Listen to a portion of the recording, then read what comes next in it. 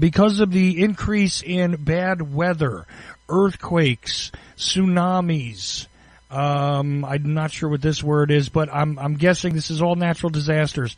Because of the increases of natural disasters and floods and things like this, does it appear as though this is part of the biblical text, or is this simply mankind wrecking the planet?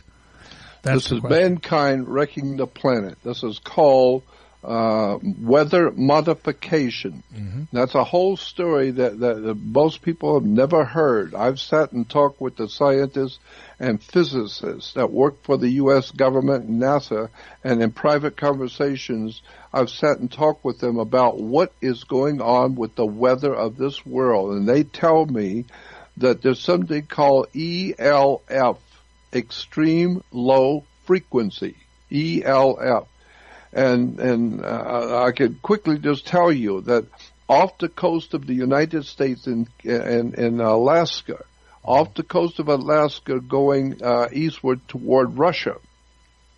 There's a series of, of islands called the Aleutian Islands off the coast of Alaska. And on that last little island on the American side, uh, there's also a series of little islands off the coast of, of uh, Russia in the same area. And they, and they have little islands going toward America. And on the last island, I am told, on the last island on the Russian side, is they, uh, Russia has put a gigantic uh, atomic uh, power plant on that little island that's closest to America. Uh, that little island has a has a big power plant, uh, a nuclear power plant. And why? Well, because they've got a station, some kind of an electrical radio or some kind of a station out there, but it uses so much electricity they have to generate their own nuclear power to even run this station on that little island. Mm. And what it is on that station, we now know, that there are like two large discs, uh, you know, those those uh, those discs that we see in, in Goldstone, Arizona, and that kind of thing. Well, these are two large discs, and uh, and and one of them they're like plates, uh, big ones, and and so they're connected to a computer, and so if Russia wants to cause trouble somewhere, they want to cause any kind of terrible weather, they direct uh, one of those disks and put it into the computer, uh, and then they put it uh, the same thing into the other computer, and it, and the other disk turns the opposite way. Uh, one is going northward, and one's going eastward. And now, when they when they jack up the power and they're sending out an electrical signal, which is extremely powerful, uh, because they have to have a nuclear plant to just pump the, the electricity into this thing. Mm. One of those disks are sending out a powerful electrical signal north going around the world. It will go around the earth and come right back where it's, you know, because it's going one straight line. But the other one that's pointing east or west, uh, it has to be east or west, they in that, that one sends out a signal and it goes around the world and comes back. But where the two signals cross uh, is in the computer, and wherever it crosses, now once they cross, you can. It's now called ELF, extreme low frequency.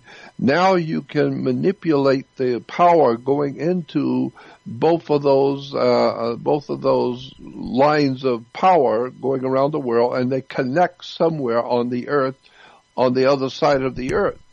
And so where they connect, you can now cause a volcano to erupt. You can cause an earthquake. You can cause uh, uh, uh, hurricanes or tornadoes. And depending on how much power you pump into it, and where you are designing that cross point where the two things are going to cross on the other side of the world, you figure out where it is and what the weather's like, and now you can cause the rains to come and flood, or if it's a rainy area and, and, and a jungle, you can cause uh, no rain to fall at all, period. And you go for droughts Uh, and so it's called ELF, and it's a it's fascinating story about how Russia controls the weather. Mm. Well, we know we're doing the same thing. We call it HAARP, and we've got ELF frequencies also. We're using it militarily, just like Russians are. But the bottom line is to the answer to the question, yes, we are causing most of these uh, uh, terrible things that are happening on the earth. That's between Russia and us. Mm. We're hurting them, they're hurting us, and we hurt their friends, and they hurt our friends, and we cause uh, earthquakes and volcanoes. Well, they're doing the same thing. And so the, the, all of these things we're seeing happening, yeah, we are causing, we humans. We're, we're, we're great at science. We love science. We don't care about life. Mm. So, so it's, it's called weather, ELF. Yeah. Go back and just research ELF, ELF, extreme low frequency, and and it's it's basically weather warfare between whoever and whoever. I mean, it really is irrelevant when it's being done on such a mass scale. Who's doing it? It's just uh, the fact that it is human driven. Okay, so there's the answer to that question. Hopefully that works for you.